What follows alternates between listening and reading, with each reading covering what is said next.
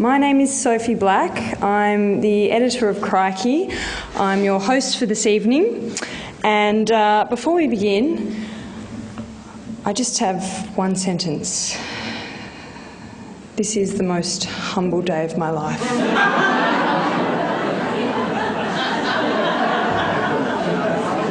Okay, so it may not have been one of the finest speeches of his career, but uh, those words uttered before the UK Culture Select Committee on Tuesday night were certainly a moment for Rupert Murdoch.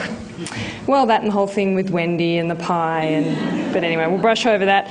Whether he likes it or not, Murdoch's words were career defining, legacy redefining, a new paragraph, a fresh chapter, a rewrite, and a full stop all in one. In its way, that sentence immediately entered the wider lexicon as a seminal speech. The seven people before you tonight will share some similarly seminal speeches with you this evening.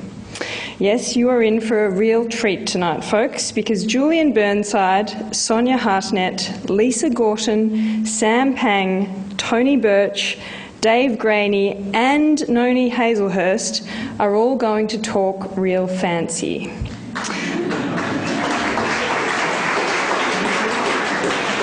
And given that they're all going to do that in an hour, that's my 60 seconds up.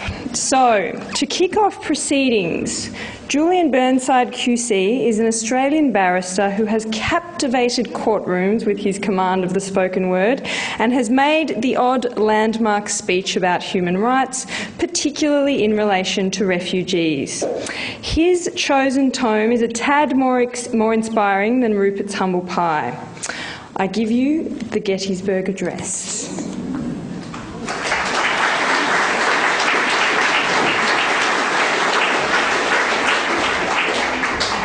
Unaccustomed as I am to reading other people's speeches, um, I did choose the Gettysburg Address. It's very famous, it's also very short, and so I thought I'd use um, the rest of my five minutes to put it in context. It's not well understood. In 1776, the American colonists decided uh, that they would break away from England and they signed the Declaration of Independence on the 4th of July. It was the world's first bold experiment in democracy. It was 13 years before the French Revolution. The, uh, the Declaration of Independence is actually a, a long list of complaints about the British government, but it began with a preamble written by Thomas Jefferson, which includes this paragraph We hold these truths to be self evident that all men are created equal, that they are endowed by their Creator with certain unalienable rights, that among these are life, liberty, and the pursuit of happiness. 87 years after those words were written, uh, the American colonies were, uh, states were engaged in the third year of a bloody civil war. One of the triggers for the Civil War had been the decision of the US Supreme Court in the notorious Dred Scott case. In that case, the Supreme Court had to decide whether those words in the Declaration of Independence applied equally to slaves. And by a majority of seven to two, they held that they did not. Um, at the same time, in, in 1863, President Lincoln was deeply unpopular. The war had claimed 250,000 lives, and Lincoln had become conscripting soldiers for the Union Army.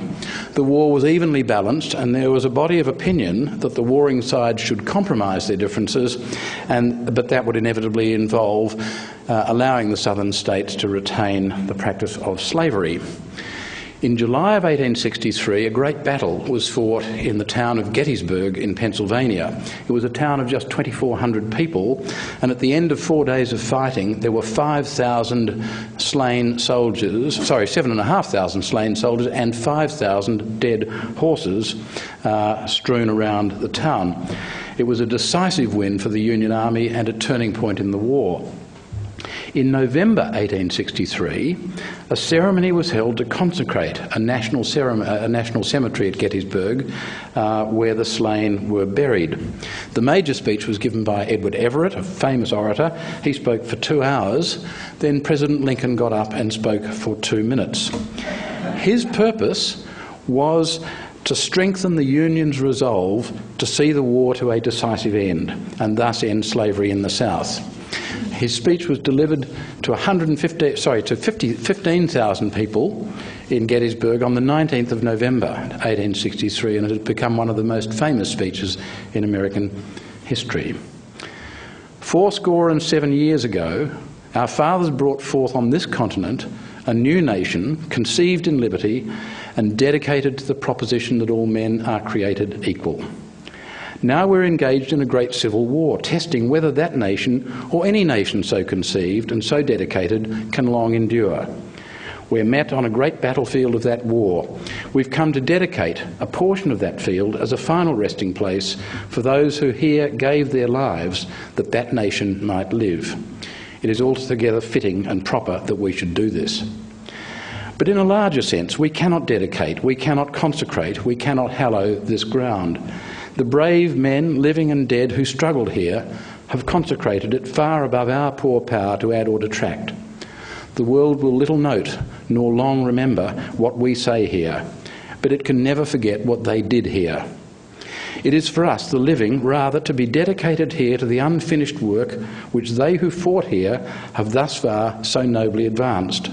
It is rather for us to be here dedicated to the great task remaining before us, that from these honoured dead we take increased devotion to that cause for which they gave the last full measure of devotion, that we here highly resolve that these dead shall not have died in vain, that this nation, under God, shall have a new birth of freedom, that that government of the people, by the people, and for the people shall not perish from the earth.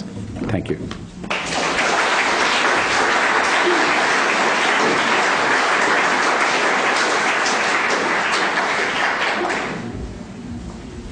Thank you, Julian. That's um, stirring stuff. It has echoes, I think, of our own question time. It's uh, yeah, similarly lofty. Next, we have Sonya Hartnett. Now, she's the internationally acclaimed author of several novels for adults and younger readers, including the award winning Thursday's Child, Of a Boy, and Surrender. Her speech promises to be quite monstrous. Sonya Hartnett.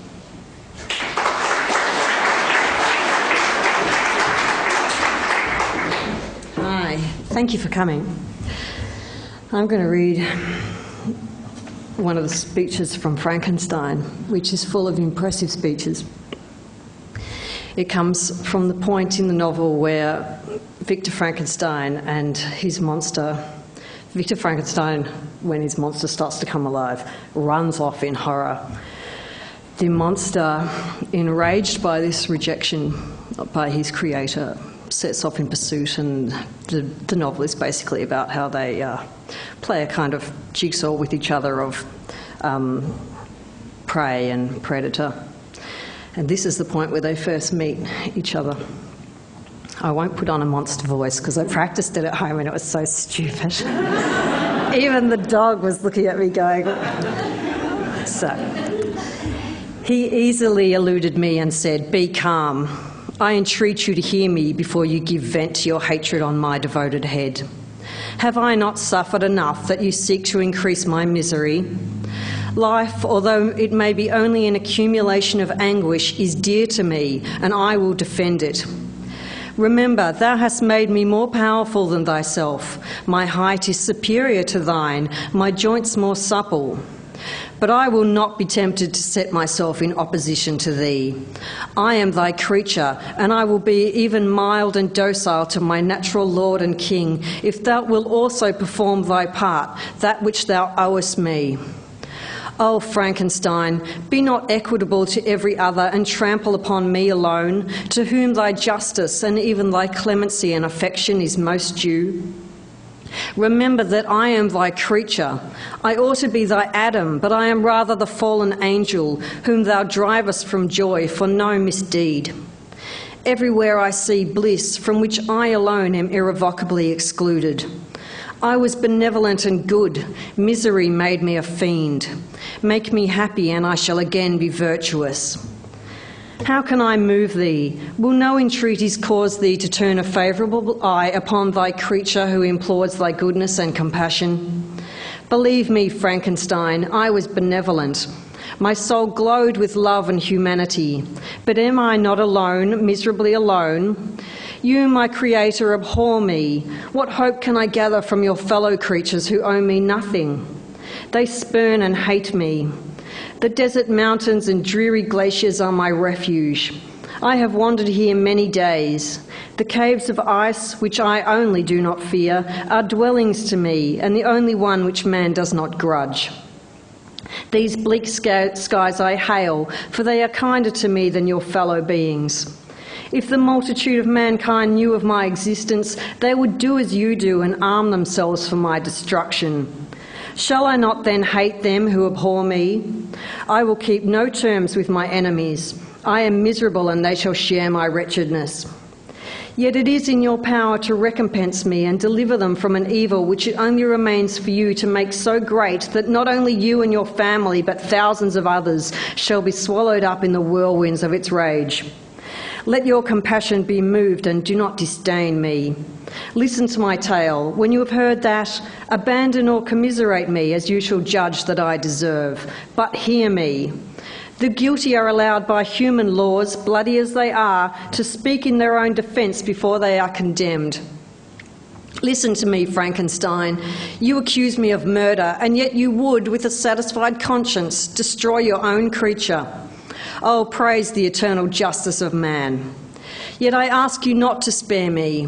Listen to me, and then, if you can, and if you will, destroy the work of your hands. Hear my tale. It is long and strange, and the temperature of this place is not fitting to your fine sensations. Come to the hut upon the mountain. The sun is yet high in the heavens. Before it descends to hide itself behind your snowy precipices and illuminate another world, you will have heard my story and decide. On you it rests whether I quit forever the neighbourhood of man and lead a harmless life, or become the scourge of your fellow creatures and the author of your own speedy ruin. Thank you.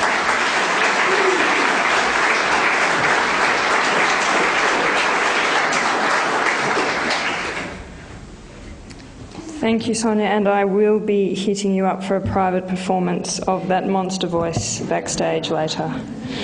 Okay. Lisa Gorton's first collection, Press Release, was shortlisted for the Mary Gilmore Award and the Melbourne Prize Best Writing Award and won the Victorian Premier's Prize for Poetry. Tonight she'll be channeling Virginia Woolf.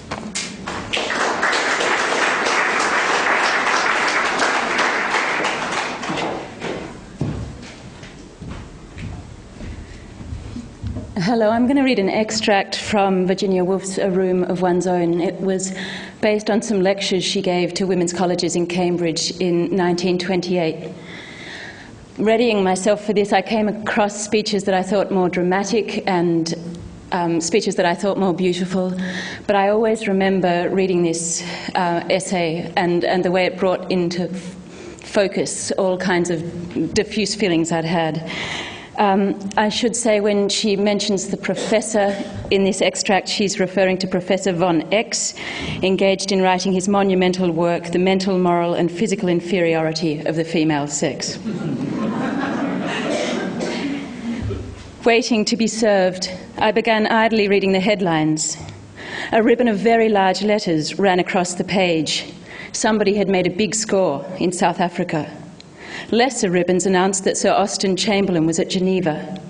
A meat axe with human hair on it had been found in a cellar. Mr. Justice commented in the divorce courts upon the shamelessness of women. Sprinkled about the paper were other pieces of news. A film actress had been lowered from a peak in California and hung suspended in mid-air. The weather was going to be foggy. The most transient visitor to this planet, I thought, who picked up this paper, could not fail to be aware, even from this scattered testimony, that England is under the rule of a patriarchy. Nobody in their senses could fail to detect the dominance of the professor. His was the power and the money and the influence. He was the proprietor of the paper and its editor and sub editor. He was the foreign secretary and the judge he was the cricketer. He owned the racehorses and the yachts. He was the director of the company that pays 200% to its shareholders. He left millions to charities and colleges that were ruled by himself. He suspended the film actress in mid-air. He will decide if the hair on the meat axe is human. He it is who will acquit or convict the murderer and hang him or let him go free. With the exception of the fog, he seemed to control everything. Yet he was angry. I knew that he was angry by this token. When I read what he wrote about women, I thought not of what he was saying, but of himself. When an arguer argues dispassionately, he thinks only of the argument, and the reader cannot help thinking of the argument too. If he had written dispassionately about women, had used indisputable proofs to establish his argument, and had shown no trace of wishing that the result should be one thing rather than another, one would not have been angry either. One would have accepted the fact, as one accepts the fact that a pea is green or a canary yellow. So be it, I should have said. But I had been angry, because he was angry. Yet it seemed absurd, I thought, turning over the evening paper, that a man with all this power should be angry. Or is anger, I wondered, somehow the familiar, the attendant sprite on power? Rich people, for example, are often angry because they suspect that the poor want to seize their wealth. The professors, or patriarchs as it might be more accurate to call them, might be angry for that reason partly, but partly for one that lies a little less obviously on the surface. Possibly they were not angry at all. Often, indeed, they were admiring, devoted, exemplary in the relations of private life. Possibly, when the professor insisted a little too emphatically upon the inferiority of women, he was concerned not with their inferiority, but with his own superiority. That was what he was protecting, hot headedly, and with too much emphasis, because it was a jewel to him of the rarest price. Life for both sexes, and I looked at them, shouldering their way along the pavement, is arduous, difficult, a perpetual struggle. It calls for gigantic courage and strength. More than anything, perhaps, creatures of illusion as we are, it calls for confidence in oneself. Without self confidence, we are as babes in the cradle. And how can we generate this imponderable quality, which is yet so invaluable, most quickly?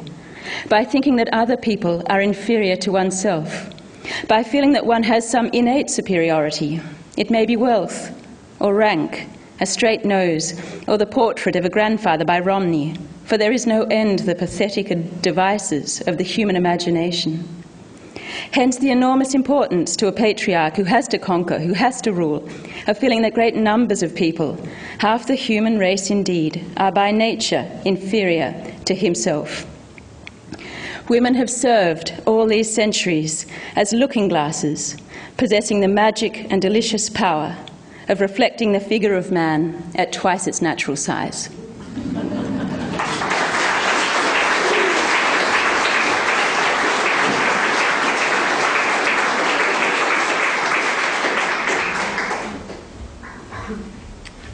Thanks, Lisa. Not bad for a lady. Uh, next, we have Sam Pang. Sam is a presenter, writer, broadcaster, and producer who began his media career with 3CR Community Radio, graduating to independent Melbourne radio station Triple R. You can currently catch his wit and wisdom on the web series The Match Committee. And tonight, for your listening pleasure, he shall be presenting a pithy yet moving piece from popular film, I believe. Sam.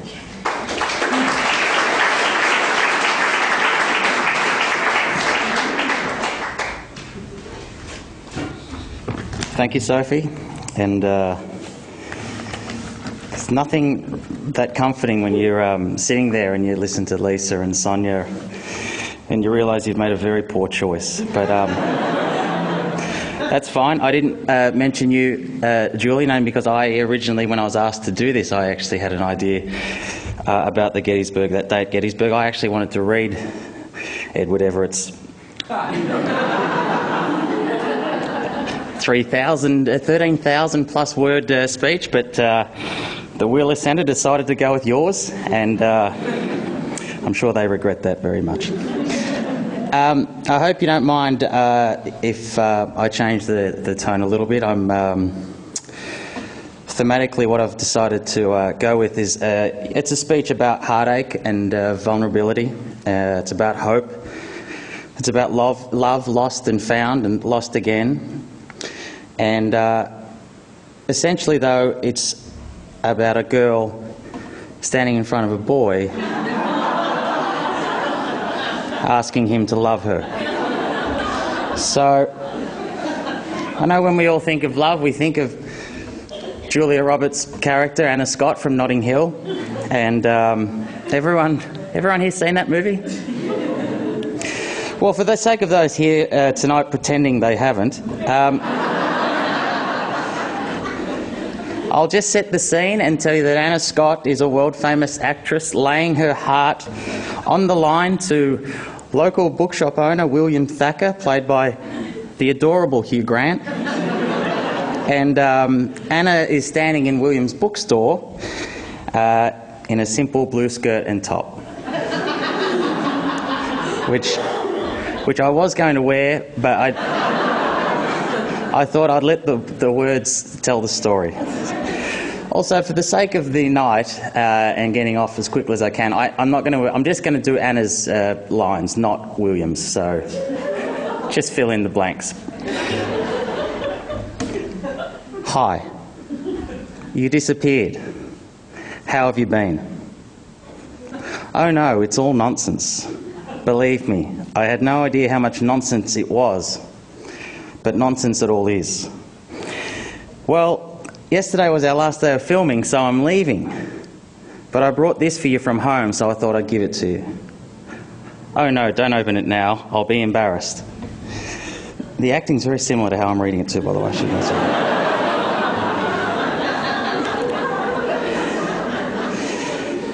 I actually had it in my apartment and I thought, but when it came to it, I didn't know how to call, having behaved so badly twice.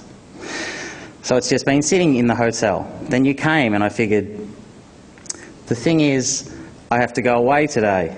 But I wondered if I didn't, whether you might let me see you a little, or a lot maybe.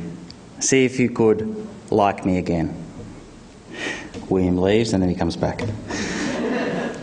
That's fine. There's always, a, uh, there's always a pause when the jury goes out to consider their verdict. Yes, fine, of course. Of course. Well, I'll just be going then. It was nice to see you. That really is a real no, isn't it? Fine, fine. Good decision, good decision. The fame thing isn't really real, you know. And don't forget, all together now. I'm also just a girl standing in front of a boy asking him to love her. She kisses him on the cheek. Goodbye. End scene. Thank you.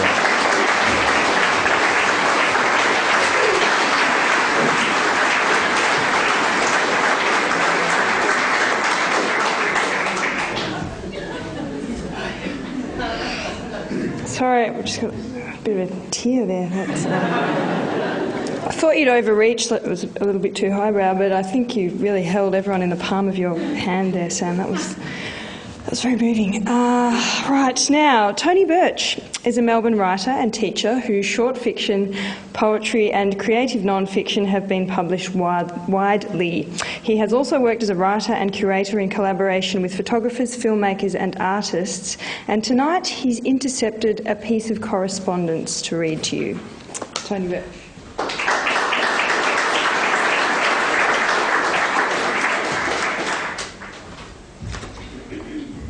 Um, thank you very much.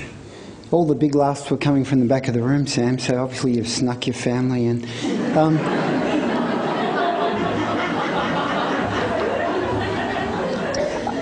when I was asked to be involved in this, the first thing I thought about was work that I've done over about 15 years, and that is looking very closely at the activism of Aboriginal women on Victorian reserves and missions from the late 19th century to the first half of the 20th century.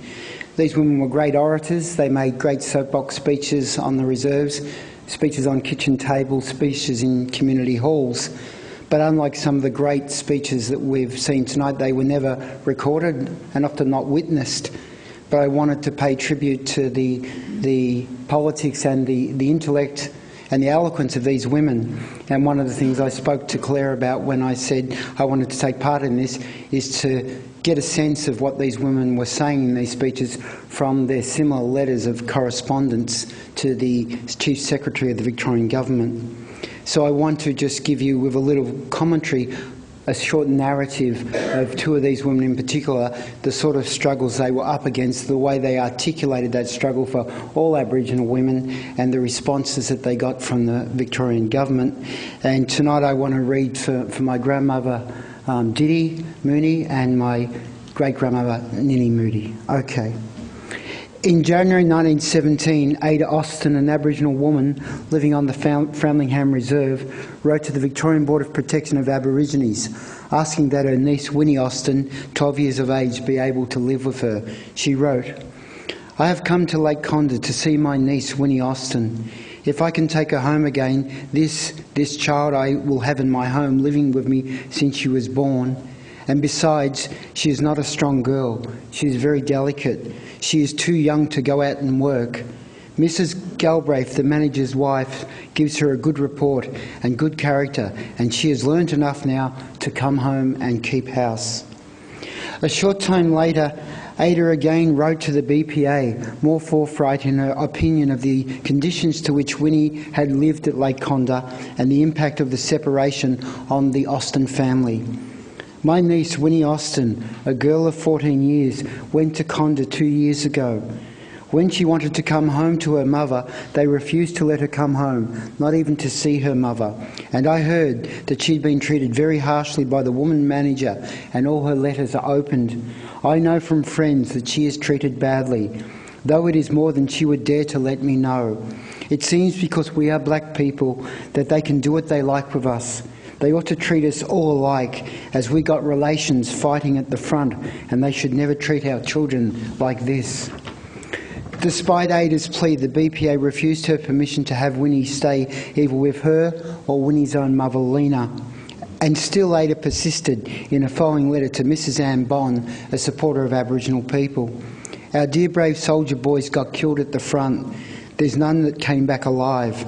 My brother, brother in law, and Winnie's uncles and cousins, and my nephew all done their share to help make Australia free.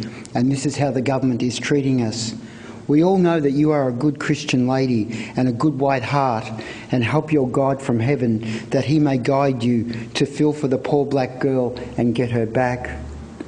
Lena Winnie's mother also wrote to the Chief Secretary, Mr. MacLeod, in March 1917 Dear Sir, I am thinking about my poor little girl Winnie. She is longing to come home again to her own native part. You know that it is quite natural for a child to come home to her own mother and relations. My sister got a letter from Winnie telling her that Mrs. Galbraith is treating her very unkindly. She knocked her head against a door and she struck her. She said to Winnie, You haven't got your old Aunt Ada to take care of you now. She told us that if she is left there much longer, she will die. Mrs. Galbraith is overworking her. She got her up at the house working her too much, and she have to get up at six o'clock in the morning and scrub before she go to school, and she have to work when she comes out again. The next month, Lena wrote directly to Winnie. The poignancy of the letter provides an insight into the devastating effect that the separation was having on all of the family. My dear, darling daughter, I now write you these few lines, hoping it will find you in good health. You don't know how much I long for you. I am always thinking about you and your Auntie Ada also. Your poor little brothers, Willie and Chris, they are always saying, When is our sister Winnie coming home again? The BPA wrote back to the Austin sisters, informing them that Winnie would be leaving Lake Condah but she would not be returning to her family at Framlingham. It was decided that she would be sent several hundred miles away to a Salvation home in East Kew, Melbourne, where it would not be possible for the family to contact her at all.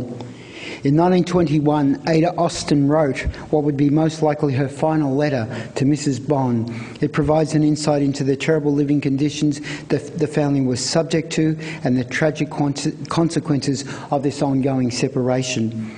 The weather is very cold and my house is very damp. We are hard up much for blankets. I need warm blankets. My little kitchen is always very wet and miserable. Lena is crippled nearly for years now and very thin. She is always suffering. With kindest love and best wishes, please excuse me for writing. Thank you.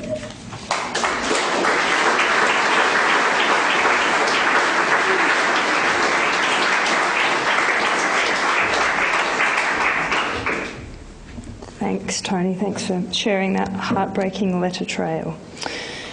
Dave Graney is an ARIA award winning gold record wearing badass music, musician. It's not badass, is it? It's badass. You've got to own it. Okay. With a recording output comprising roughly 24 albums in a career spanning 30 years. That's a lot of liner notes. In his downtime, he wrote a book. It's called 1001 Australian Nights. Tonight, he's lending his mellifluous voice to a piece from the Russian revolutionary poet Mayakovsky entitled Brooklyn Bridge. Dave Graney.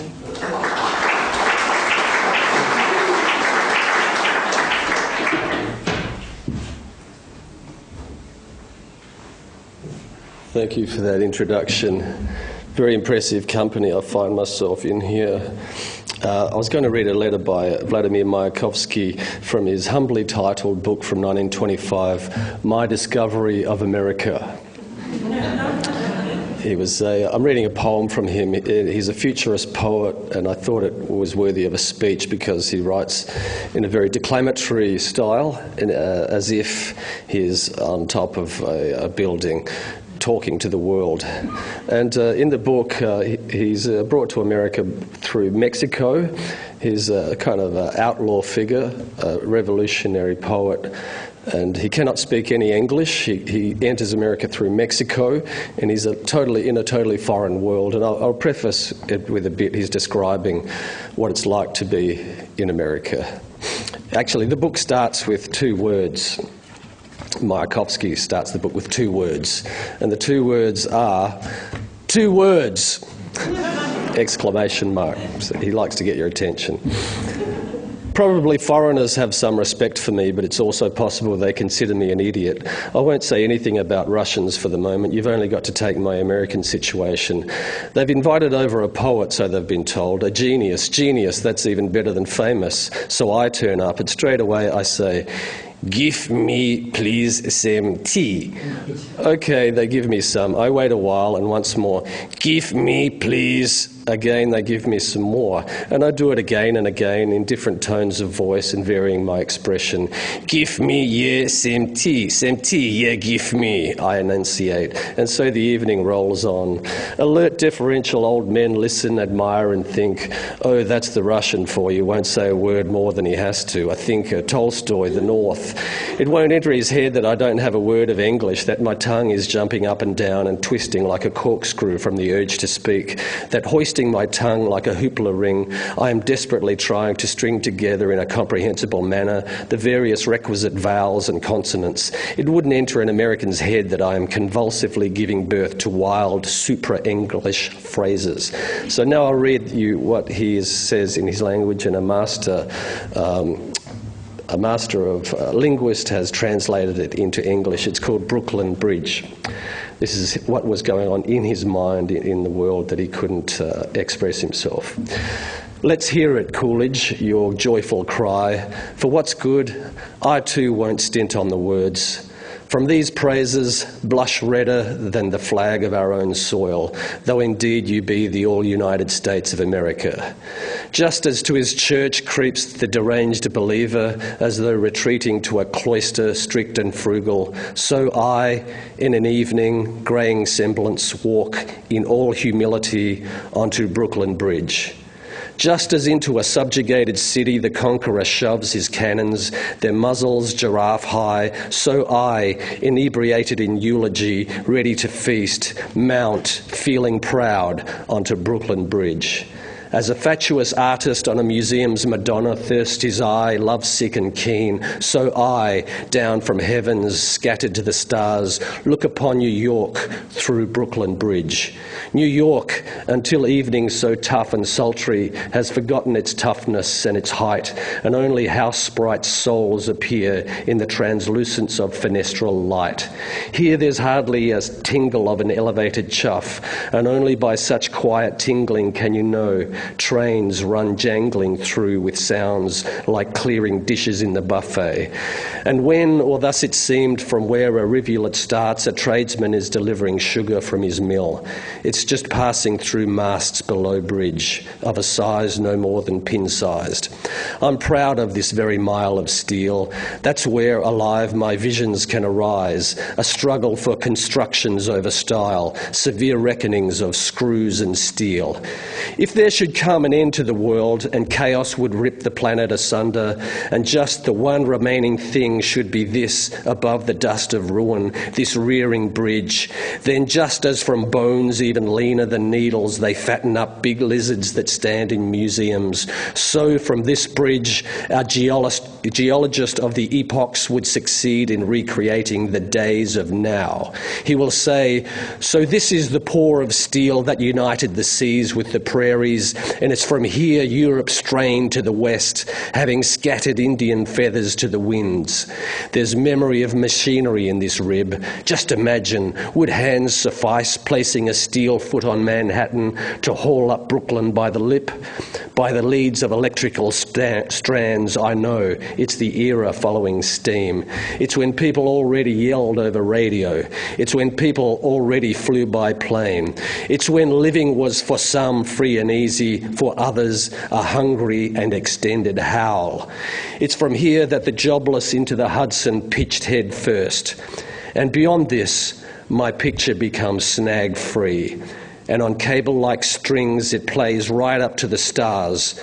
I can see that here stood Mayakovsky. Here he stood, synthesizing his strophes by the syllable. I keep looking at it like an Eskimo at a train, sticking at it like ticks stick to ears. Brooklyn Bridge, yeah, it's something else.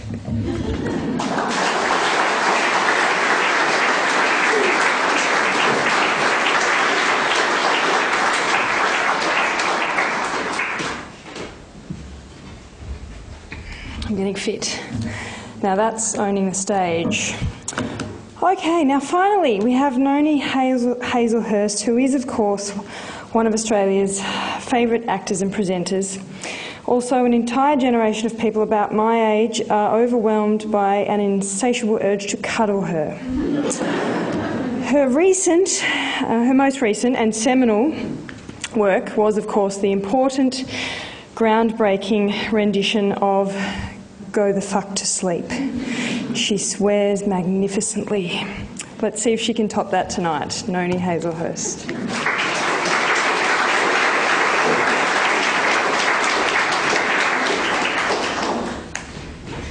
Thank you, Sophie.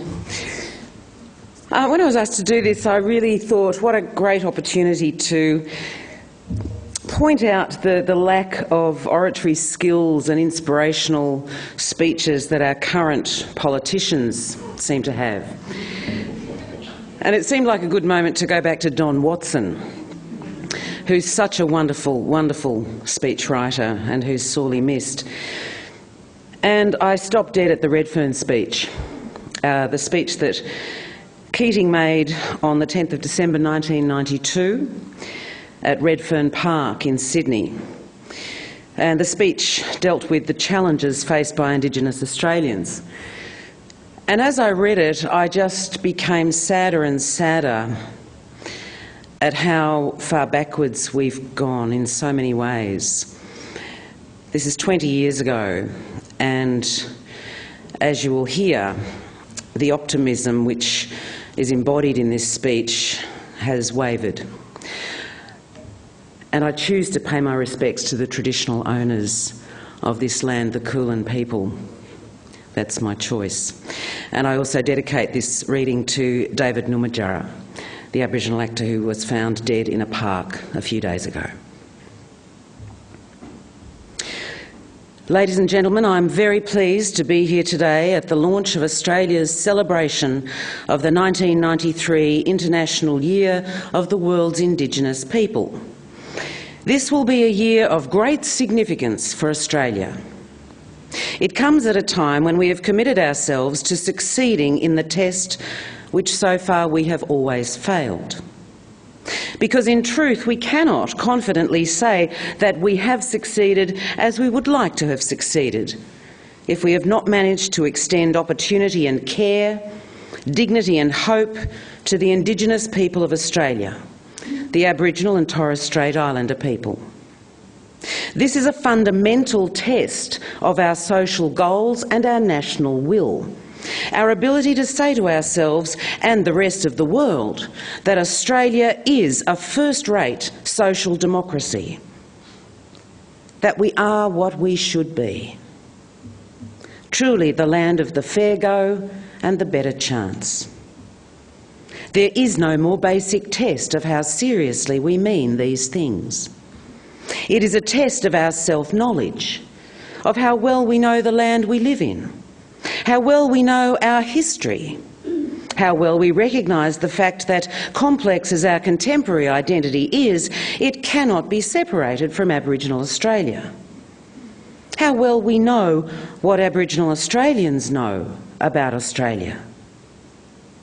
Redfern is a good place to contemplate these things. Just a mile or two from the place where the first European settlers landed in too many ways, it tells us that their failure to bring much more than devastation and demoralisation to Aboriginal Australia continues to be our failure. More, I think, than most Australians recognise, the plight of Aboriginal Australians affects us all. In Redfern, it might be tempting to think that the reality of Aboriginal Australians face is somehow contained here and that the rest of us are insulated from it. But of course, while all the dilemmas may exist here, they are far from contained. We know the same dilemmas and more are faced all over Australia. This is perhaps the point of this year of the world's Indigenous people to bring the dispossessed out of the shadows, to recognise that they are part of us and that we cannot give Indigenous Australians up without giving up many of our own most deeply held values, much of our own identity, and indeed our own humanity. Nowhere in the world, I would venture, is the message more stark than it is in Australia. We simply cannot sweep injustice aside. Even if our own conscience allowed us to, I am sure that in due course the world and the people of our region would not. There should be no mistake about this.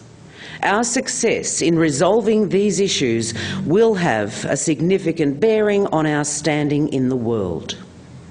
However intractable the problems seem, we cannot resign ourselves to failure any more than we can hide behind our political opponent's contemporary version of social Darwinism, which says that to reach back for the poor and dispossessed is to risk being dragged down.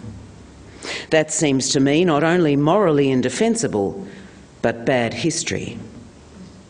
We non Aboriginal Australians should perhaps remind ourselves that Australia once reached out for us. Didn't Australia provide opportunity and care for the dispossessed Irish, for the poor of Britain, the refugees from war and famine and persecution in the countries of Europe and Asia? Isn't it reasonable to say that if we can build a prosperous and remarkably harmonious multicultural society in Australia, surely we can find just solutions to the problems which beset the first Australians? the people to whom the most injustice has been done. And as I say, the starting point might be to recognise that the problems start with us, the non Aboriginal Australians.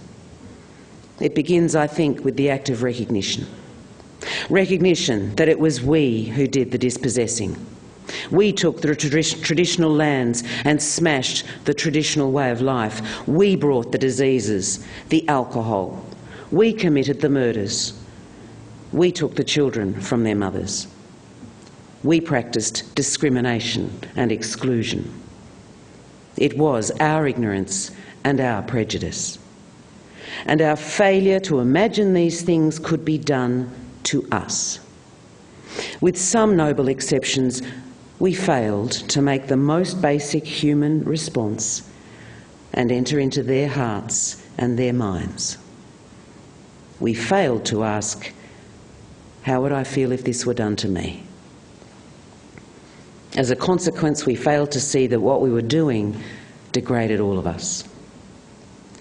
If we needed a reminder of this, we received it this year in the report of the Royal Commission into Aboriginal deaths in custody, which showed with devastating clarity that the past lives on in inequality, racism, and injustice, in the prejudice and ignorance of non Aboriginal Australians, and in the demoralisation and desperation, the fractured identity of so many Aboriginal and Torres Strait Islanders. For all this, I do not believe that the report should fill us with guilt. Down the years, there's been no shortage of guilt, but it has not produced the response we need.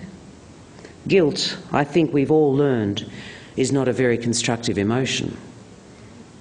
I think what we need to do is open our hearts a bit. All of us. Perhaps when we recognise what we have in common, we will see the things which must be done the practical things. There is something of this in the creation of the Council for Aboriginal Reconciliation. The Council's mission is to forge a new partnership built on justice and equity and an appreciation of the heritage of Australia's Indigenous people. In the abstract, those terms are meaningless. We have to give meaning to justice and equity. And as I have said several times this year, we will only give them meaning when we commit ourselves to achieving concrete results. If we improve the living conditions in one town, they will improve in another and another. If we raise the standard of health by 20% one year, it will be raised more the next. If we open one door, others will follow. When we see improvement, we will see more dignity, more confidence, more happiness. Then we will know we are going to win. We need these practical building blocks of change. The Mabo judgment should be seen as one of these. By doing away with the bizarre conceit that this continent had no owners prior to the settlement of Europeans, Mabo establishes a fundamental truth and lays the basis for justice it will be much easier to work from that basis than has ever been the case in the past. For this reason alone, we should ignore the isolated outbreaks of hysteria and hostility to Mabo of the past few months. Mabo is an historic decision. We can make it an historic turning point, the basis of a new relationship between Indigenous and non Aboriginal Australians. The message should be that there is nothing to fear or to lose in the recognition of historical truth, or the extension of social justice, or the deepening of Australian social democracy to include Indigenous Australians. There is everything to gain. Even the unhappy past speaks for this. Where Aboriginal Australians have been included in the life of Australia, they have made remarkable contributions, economic contributions, particularly in the pastoral and agricultural industry. They are there in the frontier and exploration history of Australia. They are there in the wars, in sport to an extraordinary degree, and in literature and art and music. In all these things, they have shaped our knowledge of this continent and of ourselves. They have shaped our identity. They are there in the Australian legend. And we should never forget they helped build this nation. And if we have a sense of justice as well as common sense, we will forge a new partnership. As I said, it might help us if we non Aboriginal Australians imagined ourselves dispossessed of land we've lived on for 50,000 years, and then imagined ourselves told that it had never been ours. Imagine if ours was the oldest culture in the world and we were told that it was worthless. Imagine if we had resisted this settlement, suffered and died in the defence of our land, and then were told in history books that we had given up without a fight. Imagine if non Aboriginal Australians had served their country in peace and war and were then ignored in history books. Imagine if our feats on sporting fields had inspired admiration and patriotism and yet did nothing to diminish prejudice. Imagine if our spiritual life was denied and ridiculed. Imagine if we had suffered the injustice and then were blamed for it. It seems to me if we can imagine the injustice, then we can imagine its opposite. And we can have justice. I say that for two reasons. I say it because I believe that the great things about Australian social democracy reflect a fundamental belief in justice. And I say it because in so many other areas we have proved our capacity over the years to go on extending the realms of participation, opportunity, and care. Just as Australians living in the relatively narrow and insular Australia of the 1960s imagined a culturally diverse, worldly, and open Australia, and in a generation turned the idea into reality, so we can turn the goals of reconciliation into reality. There are very good signs that the process has begun. The creation of the Reconciliation Council is evidence itself, the establishment of ATSIC, the Aboriginal and Torres Strait Islander Commission is also evidence. The Council is the product of imagination and goodwill. ATSIC emerges from the vision of Indigenous self determination and self management. The vision has already become the reality of almost 800 elected Aboriginal regional councillors and commissioners determining priorities and developing their own programs. All over Australia, Aboriginal and Torres Strait Islander communities are taking charge of their own lives. And assistance with the problems which chronically beset them is at last being made available in ways developed by the communities themselves. If these things offer hope, so does the fact that this generation of Australians is better informed about Aboriginal culture and achievement and about the injustice that has been done than any generation before we're beginning to more generally appreciate the depth and the diversity of Aboriginal and Torres Strait Islander cultures. From their music and art and dance, we are beginning to recognise how much richer our national life and identity will be for the participation of Aboriginals and Torres Strait Islanders. We're beginning to learn what the Indigenous people have known for many tens of thousands of years how to live with our physical environment ever so gradually, we're learning to see Australia through Aboriginal eyes, beginning to recognise the wisdom contained in their epic story. I think we are beginning to see how much we owe Indigenous Australians and how much we have lost by living so apart. I said we non Indigenous Australians should try to imagine the Aboriginal view. Can't be too hard. Someone imagined this event today, and it is now a marvellous reality and a great reason for hope. There is one thing today we cannot imagine. We cannot imagine that the, that the descendants of people whose genius and resilience maintained a culture here through 50,000 years or more, through cataclysmic changes to the climate and the environment, and who then survived two centuries of dispossession and abuse will be denied their place in the modern Australian nation. We cannot imagine that. We cannot imagine that we will fail. And with the spirit that is here today, I'm confident that we won't. I'm confident that we will succeed in this decade. Thank you very much for listening to me. Isn't that sad?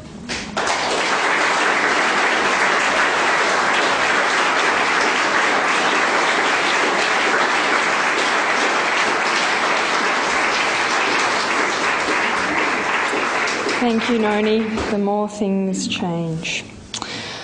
That was our final speech for this evening. So uh, I hope you go all go out into the cold night with uh, invigorated and inspired brains by the speeches this evening. So um, if you can join me in thanking Julian Burnside, Sonya Hartnett, Lisa Gorton, Sam Pang, Tony Birch, Dave Graney, and Noni Hazlehurst.